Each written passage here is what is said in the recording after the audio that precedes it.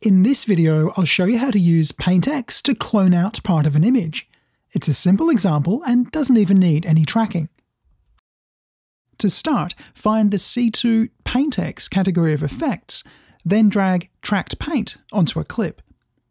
Press the Open Editor button in the inspector, and you'll be taken to a full screen interface.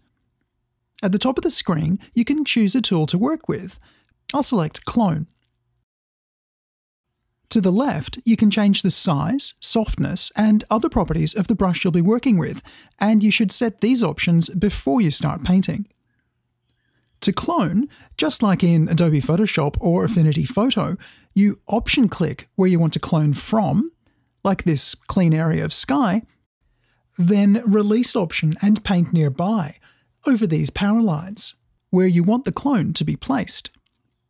You can paint repeatedly until you've covered everything, and if you run out of clean source material in the area you're cloning from, you can just option click again to set a new source, then paint some more. If you find you've gone too far, or the soft edge of a brush has painted over an area you wanted to keep, you can use this erase brush to get rid of it.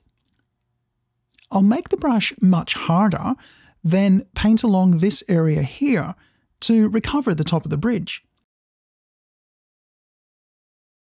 All the brush strokes I've added during this process are saved and recorded and can be edited.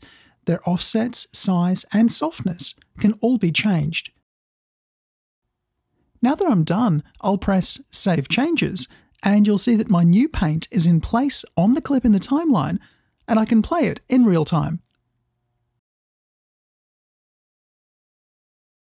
PaintX is available now from coremelt.com, and there's a free trial too. Thanks for watching.